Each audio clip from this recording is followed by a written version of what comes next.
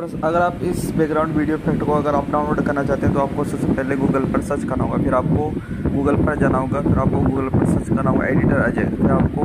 top में आपको एक वेबसाइट मिल जाएगी, फिर आपको उस वेबसाइट में आपको अंदर जाना है, फिर आपको उस वेबसाइट के अंदर से बहुत सारे आपको लेटेस्ट टेम्पलेट मिल जाएँगे, फिर आपको उस वेबसाइट के अंदर से बहुत सारे बैकग्राउंड इफ़ेक्ट मिल जाएँगे, फिर आपको किसी एक टेम्पलेट पर, किसी एक बैकग्राउंड वीडियो पर क्लिक कर देना है, फिर आपको इसको डाउन करते हुए आपको नीचे जाना है, फिर आपको एक टेम्पलेट डाउनलिंग लिंक उस पर क्लिक करना है